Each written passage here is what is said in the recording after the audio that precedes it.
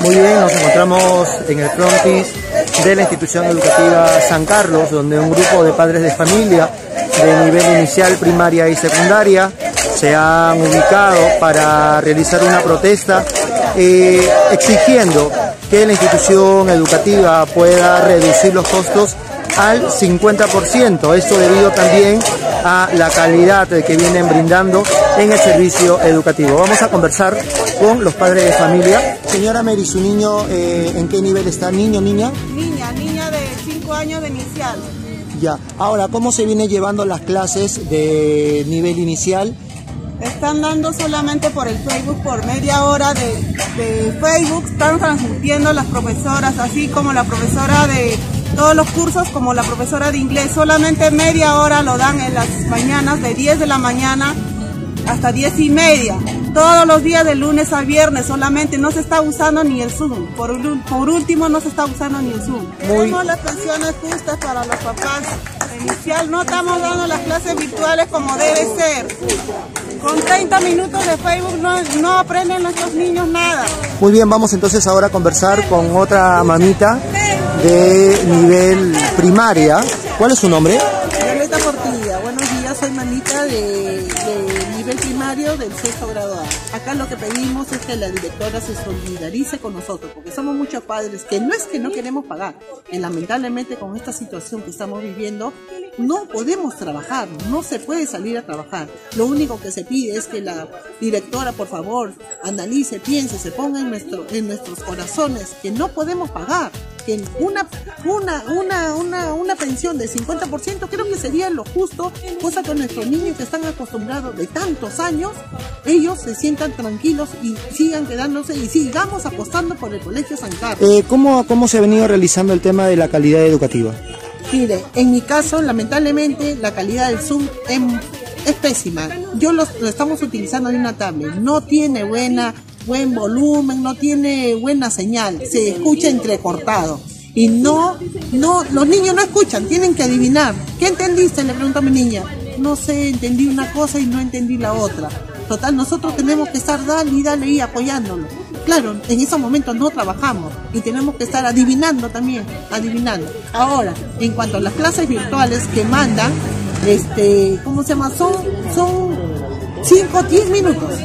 Y no es una, una explicación del tema, no es claro, no es claro. El tema de la aplicación del Zoom se ha venido dando desde, desde el que se cancelaron las clases presenciales o es que recién se ha venido implementando? Recién hace una semana no he podido este, bajar la aplicación este, del Zoom, pero como le digo, es pésima y de verdad que era estresante para los niños, más que están encerrados, era estresante, porque los niños transpiraban con sus audífonos, en el caso mío, mi niña transpiraba con sus audífonos, no entiendo mamá, y yo me acercaba y le decía a la profesora con señas que no se escucha, no se escucha, se escucha entrecortado.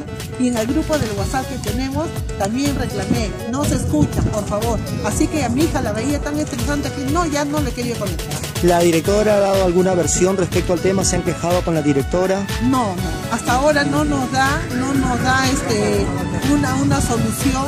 Todo es mediante los dos profesores que tenemos clases. Solamente dos profesores son los que nos dan las clases de familia y civismo, comunicación, álgebra, aritmética, este, historia y religión.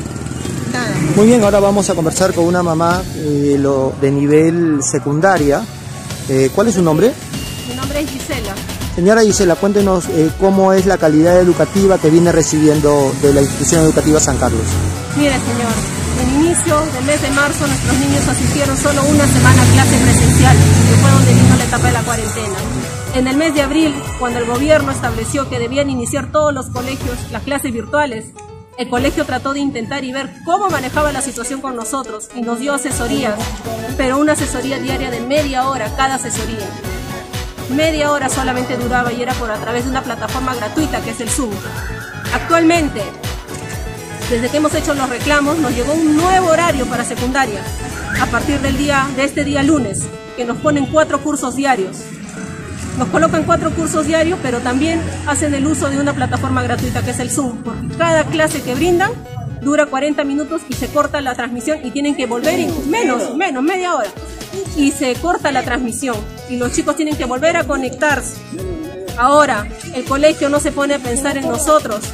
Hemos pagado libros físicos que ahora ni siquiera los van a usar. ¿Cuánto, cuánto es la mensualidad que está cobrando el colegio, eh, digamos, si no hubiera cuarentena? ¿Y cuánto es lo que están pretendiendo cobrar ahora? La pensión normal que ha establecido el colegio fue 255 y ahora con el descuento que ellos han enviado están cobrando 200 soles. Y dejar en claro que ellos están cobrando el mes de marzo esos 200 y están cobrando el mes de abril también quieren cobrar los 200, pese que en marzo se estudió una semana y la respuesta que han dado, la respuesta que han dado es que las otras semanas que faltan, que serían tres semanas, la van a recuperar virtualmente. O sea, ¿de qué hablamos? Solamente buscan justificar el cobro que están haciendo. Eh, en marzo solamente una semana estudiaron, en abril en abril han comenzado a estudiar, como les digo, virtualmente, pero solo teniendo una asesoría de media hora por día hasta este lunes, que ha sido lunes 27, si no me equivoco, que recién han comenzado con cuatro cursos diarios. Estamos hablando la última semana de abril. Ustedes como padres, ¿qué es lo que están exigiendo? Nosotros, señor, lo que exigimos es dialogar. Queremos dialogar con la directora, que ella nos escuche, que nos responda a los correos que le hemos mandado haciendo todas las observaciones y que también se ponga en lugar de nosotros, Señor. Yo tengo dos niños en el colegio, no tengo solo uno, tengo dos niños. Entonces la directora tiene que ponerse sensibilidad. Acá no se trata de decir, si no puedes pagar, pues retírate. No, Señor. No se trata de eso. La educación es un derecho de nuestros hijos.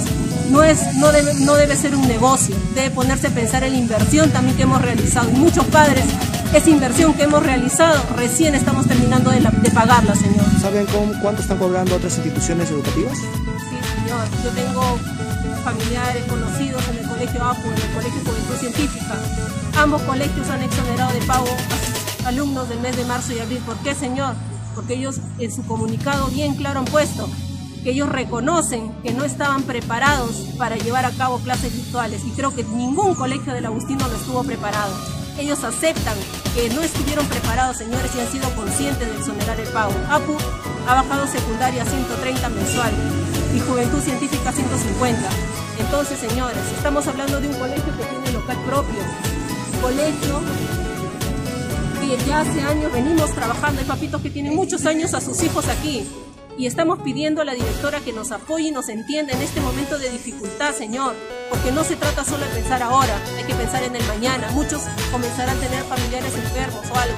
¿Quién tiene que invertir ahora en las impresiones, Señor? Nosotros. ¿Quién tiene que buscar un servicio de internet, un paquete de internet para que tu hijo pueda tener una clase? Nosotros, Señor. Eso también es una inversión que ella no está considerando. Entonces, ¿de qué estamos hablando? Acá no tenemos nada en contra de los profesores, que eso quede bien claro, Señor. Acá el tema es que la directora tiene que solidarizarse con los padres de familia y escucharnos y llegar a un acuerdo con nosotros, porque la solución no es decir, váyanse. No, señor, esa no es la solución. Es, la directora ha mencionado de que los alumnos, los padres de familia que no estén de acuerdo se pueden retirar y no les da ningún tipo de solución. Mire, señor, ¿Qué hace la directora? Nos ha respondido los que tenemos dos hijos con una solicitud adicional en donde tenemos que exponer nuestro problema personal para que nos hagan un nuevo descuento. No dicen cuánto es ese nuevo descuento, pero a mí, señor, no me parece justo. Escucha, escucha, escucha, escucha.